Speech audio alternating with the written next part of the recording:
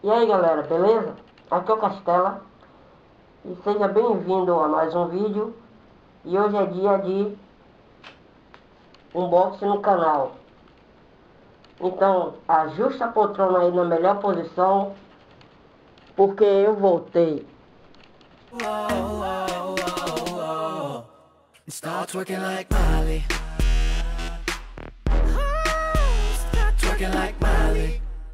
Então pessoal, Vou apresentar aqui minha nova aquisição, que é a placa-mãe ASRock Extreme Z77. Essa Z77 é uma chipset da Intel aí bem respeitada aí no mercado.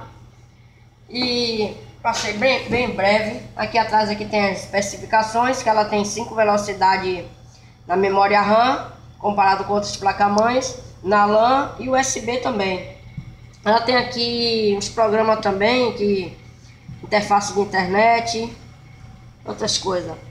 E o mais importante é que os capacitores dele, essa, essa geração é, do modelo Premium Gold, tá? É, são capacitores japoneses banhados a ouro que propõem aí uma vida bem útil por seus componentes da placa-mãe. Ela tem baixo custo aí de, de consumo de energia. Aqui tá falando também do design aí da, capacitor. E ela é, tem um 4 slot da, de memória DDR3 e tem um suporte também para dual channel. E os USB dela, a PCI Express também, são 3.0. Então passei bem breve aqui, vamos para o que importa. Estou aí hoje com o meu cameraman.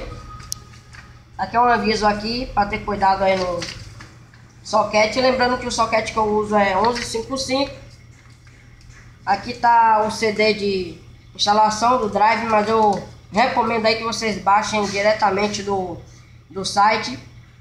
Aqui é um adesivozinho que vem, bem legal. Aqui é a pontezinha para fazer o SLI, todos já conhecem. Aqui é o espelho, ele vem acompanhado aí com dois cabos, dois cabos SATA e aqui o manual de, do usuário. Vou mostrar isso aqui.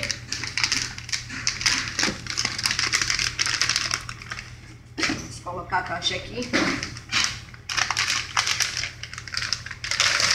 De primeira impressão, a bicha é bem bonita, tá, pessoal? Primeira impressão, a bicha é bem bonita. Deixa eu tirar ela aqui. Que é o tipo de proteção que vem.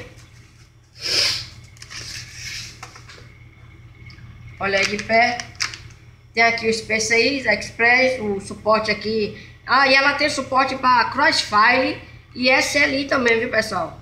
Aqui é o, as outras PCI também, 3.0. E ela é igual a minha, a minha Intel que eu tinha, ela também tem um display aqui de diagnóstico, tá? Se a máquina tiver algum erro, a placa-mãe, ela indica aqui, você sabe o que, qual é o erro que ela está apresentando. Aqui são os conectores USB. Aqui tem o, o, o power, o reset aqui de emergência. E os capacitores aqui que eu falei, ó. São da série Premium, capacitores japoneses. Aqui. É, banhado a ouro. Aqui é os slots de memória. 4 slots com suporte dual channel, como eu falei. Aqui é a entrada de energia padrão. Processador e da placa-mãe. O slot aqui. E o mais bonito também, galera, são os dissipadores, tá? Aqui é o dissipador com a numeração do chipset, que é Z77. E o nome Extremezinho aqui, bem legal.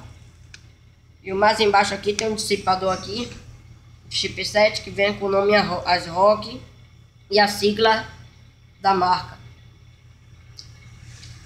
Vamos aqui para trás. Aqui atrás tem o áudio dela, que é 7.1, qualidade muito boa.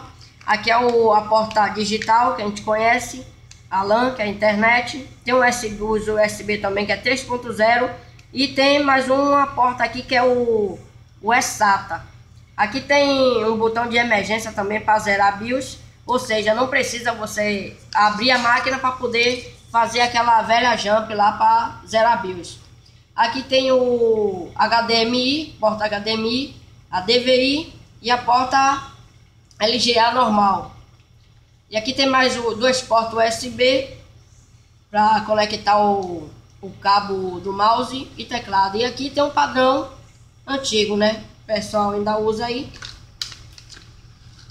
E o PCB dela, pessoal, é marronzinho, né? Daquela impressão mesmo de uma placa Extreme. Uma placa bem escura. Tá vendo? Muito linda a placa. Recomendo aí um dos chipsets mais respeitados aí da categoria. Que é o Z77. E aqui tem as outras portas também, USB. Tem aqui do, do Power, Reset. Tem do áudio. Olha aí, muito linda.